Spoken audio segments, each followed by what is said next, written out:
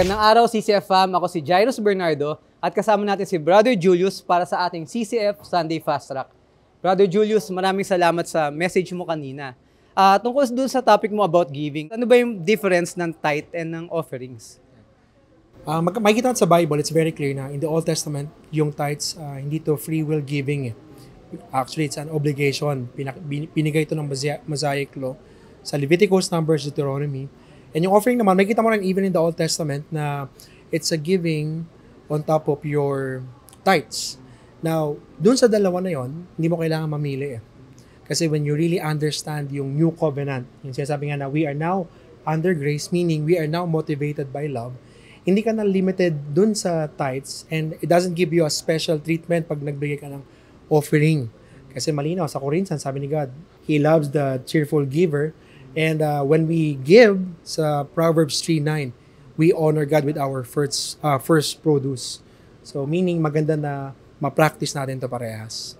Maraming salamat Julius. So ibig sabihin pala no, pag nagmamahal ka, nagbibigay talaga. So yung pangalawa nating tanong, Brother Julius. So ano naman yung encouragement mo para sa mga taong nahihirapang magbigay dahil siguro natatakot magipit o kulang sa kanilang budget? Pagka nakita mo yung standard natin sa 2 Corinthians 8 and 9, malinaw na clarify ni Paul sa mga taga-Korinto na it's not under compulsion. Uh, hindi to persahan, pero ano yung malu- maluwag sa loob mo. So dapat maintindihan natin when it comes on giving, ang Panginoon gusto niya tayo maging good steward. Eh, di ba? Dapat makita natin una na hindi ini-encourage ng Panginoon na mangutang ka para magbigay ka. Pero dapat makita mo rin na may mga dahilan minsan ba tayo nagigipit. No? I don't know about what's happening to everybody. No? Pero minsan it's about mis- mismanagement of the resources. Eh.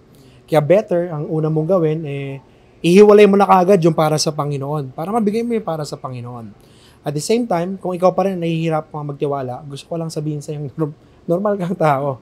Di ba? Uh, Siyempre, nakikita mo sa paligid mo yung mga challenges, pagsubok sa buhay. Pero maganda rin na pag dumarating sa iyo yung mga pagsubok, babangga mo sa salita ng Diyos. Pa sa Romans, it's very clear na yung salita ng Diyos, ito yung ginagamit natin para mag-endure tayo eh. Bakit? Kasi tinuturo ng salita ng Diyos na Matthew 6, ang Diyos natin, ang tatay natin, nasa langit. And He is perfect, He is loving, at ang pag-ibig niya sa atin ay walang ibang halong motibo, kundi para sa ikakabuti natin. Sa 2 Timothy, makikita rin natin doon na si God is uh, a faithful God. Kumbaga, reliable, trustworthy, And ang matindi pa nga doon, sabi pa ni Paul kay Timothy, even though we are faithless, God will still remain faithful because He is faithful. So therefore, maganda na pagbasihan mo kung sino siya, ano yung mga nagawa niya sa buhay mo, ano yung mga nagawa niya sa Bible, at ano pa yung mga pwede niyang gawin sa'yo. So parang faith exercise din talaga yung pagbibigay. Sige. So Julius, sa ating last question, na mention mo kanina na yung pagbibigay ay uh, parang uh, may reward din ito, 'di ba, na makukuha ganyan. So, tanong ko lang kung tama bang motivation yung may makukuha ka para ikaw ay magbigay? Alam mo, mahirap talagang iwasan yung temptasyon na maging motivasyon mo yung reward na matatanggap mo. Kasi malino sa Bible na talagang ang Diyos ay tapat at mahilig din ang Diyos magpala ng kanyang tao. Pero dapat makita mo lang ang pinagkaiba ng mga tao sa Old Testament, sa New Covenant. Anong ibig ko sabihin? Sa Old Testament, kaya nga sila under compulsion or obligation to give kasi yung tithing, it's part of their worship. Ibig sabihin, para makarelate ka sa Diyos, kailangan mo mag-ikapo.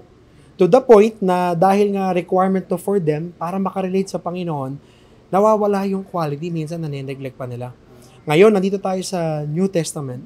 Maganda na ma-realize natin na hindi na tayo uh, required o obligado. Pero ginagawa pa rin natin to kasi mahal natin siya eh. Diba? So kumbaga, nakuha na natin yung pinakamagandang blessing which is ang Panginoon.